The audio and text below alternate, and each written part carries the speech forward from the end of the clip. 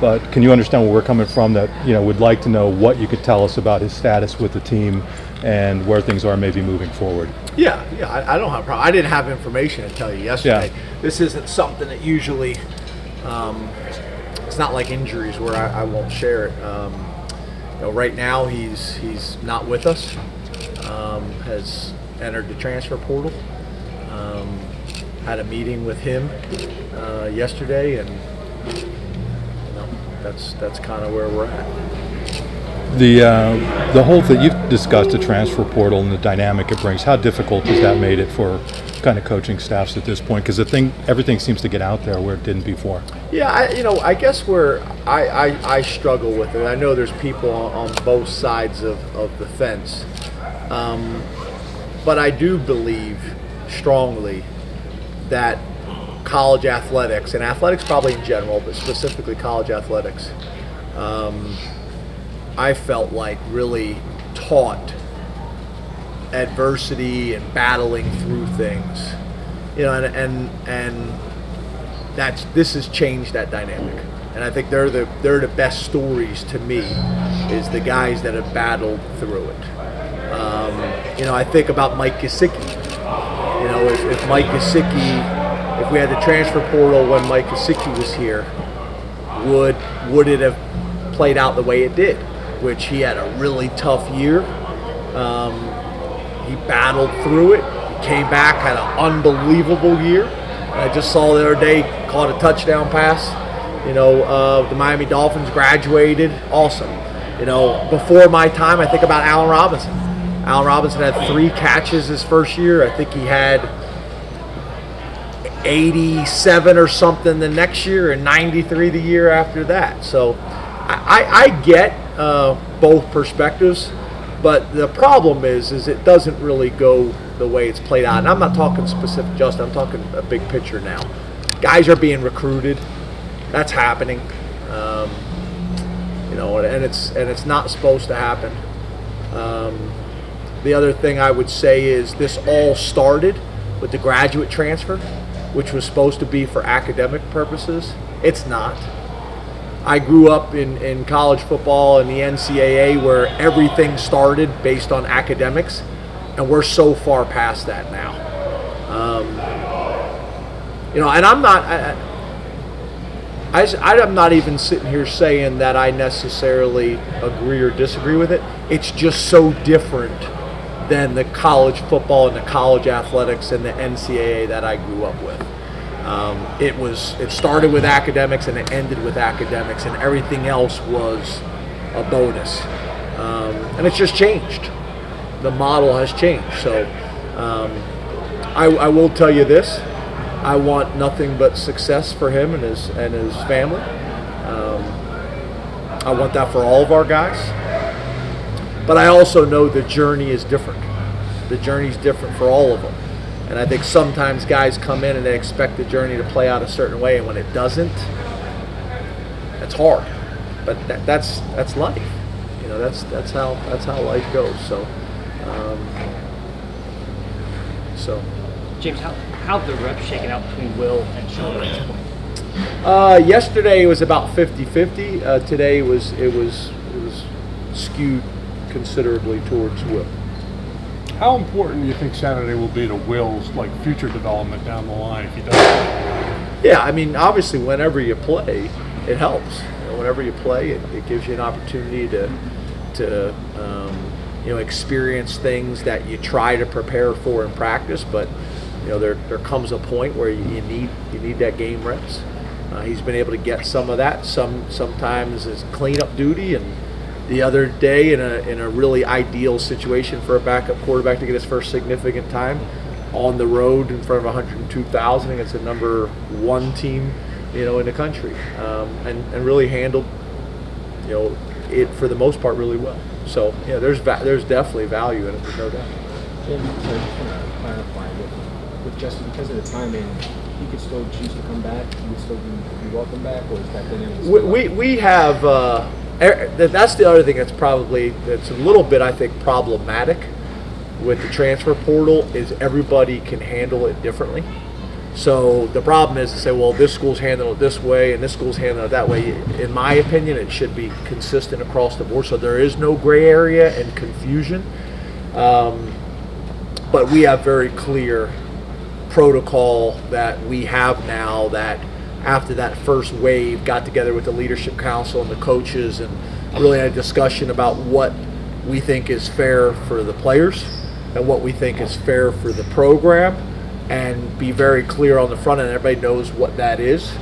And then everybody can determine how they want to um, you know kind of work within that system. So um, everybody clearly understands it. So is able, I believe you said over the summer that, you know, you can come back, but it's up to you if you want to take the scholarship away in the meantime. Is that, yeah i again it's hard for me to sit here unless i go through our policy in detail and there's a lot of points to it. Um, and and also it's not like a black and white deal. Every every situation is different based on how they leave how they communicate um, you know why they're leaving. There's there's a lot of factors that go into it James, you've talked before about perception when it comes to the program, the university, all that stuff. Given last night where you only dropped one spot in the college football playoff, now that we're towards the end, but all this other stuff is happening with Justin and uh, the outside the lines piece, how much does that weigh on you? Maybe not now, but in a couple of days or in a couple of weeks, with the perception of where the program is, and given where we had that long conversation of where you want it to be. Yeah, I, I, um, I think I think pretty good. I mean, I think one of the things that really jumps out is you you think about strength of schedule uh, for us specifically. Um, you could probably check about five or six different services that do those rankings. I think we're ranked anywhere from first um, to tenth, um, in like three or four different types of uh, rankings, depending on which one you use. So we've played a really good schedule. People respect that. Um, we've played a number of ranked teams uh, at home and on the road. Um, so, you know, I, I think that's why you've seen people kind of respect, you know, our schedule and the rankings have have uh, uh, have shown that. Um, but also, I could I could show you five other examples of other teams that I think should be ranked certain places and they're not. So for me to sit here and say I completely understand it, I don't. It's working out fairly well for us right now. So, uh, you know, obviously we're happy about it, but we got to play well uh, on Saturday and you know see where we fall after that. James, after the game Saturday, Cam said that he pours his heart into this team more than in more ways than people would know. So, what has Cam meant to this team, both with his on-field production and from a leadership perspective? Yeah, it's all the stuff behind the scenes. Um, it's it's the leadership, it's the mentoring, the younger players. It's it's mentoring certain personalities. It's great feedback to Coach Pry and, and to myself. Um, it's all of it, you know. And and what's interesting is it's kind of like being a head coach, or kind of like being a first-time play caller, or, or you know being a captain. Is is I think when you're young, you view what being a captain is, and then you actually do it, and it's a lot more than that. You know, there's a lot more that goes into it if you're going to be a guy like Cam and really appreciate and take pride in that role and that responsibility. You carry it. You wake up, you're the captain. You go to sleep, you're the captain. You're the captain Saturday night. Um, you know, when guys are out downtown, that's that's part of it. And guys like Cam have really embraced all of that. You know, and uh, uh, got tremendous respect from the staff and, and his teammates. You mentioned last week, I think it was, that the the playoff system kind of ruins people's ability to like bowl games and be excited about seasons that may have otherwise been appreciated. How do you message a team through having a good year when maybe, you know, end of the day you don't end up in the playoffs, but it doesn't mean you had a bad year? How do you get them to that point? Yeah, I think the way I, I kind of expressed it is it's it's it's kind of become all or nothing. You know, for I wouldn't say for every program, but for a lot of programs, it's become all or nothing. Uh, you know, with the fan bases and the perception and things like that. Um, I, I think for us, Ben, I don't want to give you guys the same answer all the time, but that's why we approach things the way we approach them. Um, because all those things are outside of your control.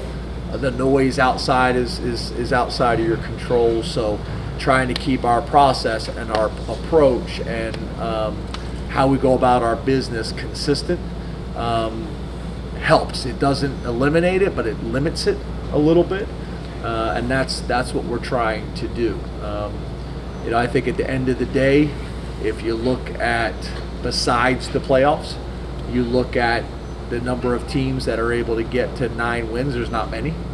The number of teams are able to get to ten wins. There's there's even less, and eleven, and you know you kind of get into a whole other category. So, um, I think it helps, but I, I will tell you that we have very high expectations and standards around here, um, not only outside, but even more so inside. Uh, so that's hard, and that's where when you do have a setback or you do face adversity, you got to deal with it. You got to deal with it quickly, and I think that's also where the Sundays are really important because if you wait till Monday, that it just lingers with you longer. That's where, to be honest, you know, I went to Chris about. It. I'd love to have my press conference on Monday because it allowed me to allowed me to move on. I don't want to come back on Tuesday and, and talk to you guys about it if that makes sense.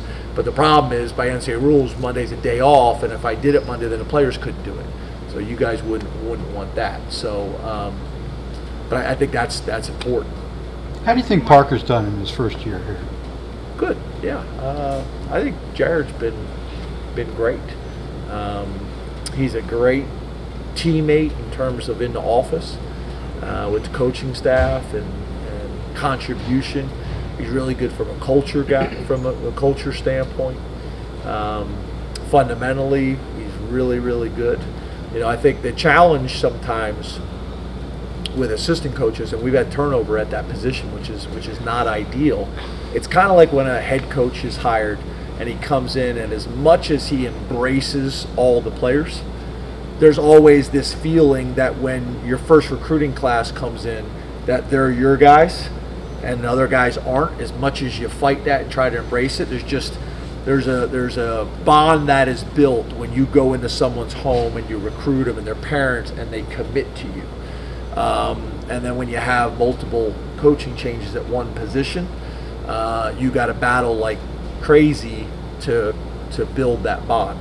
And then obviously when you don't have success and that bond and relationship is not there, it's hard to work through some of those challenges.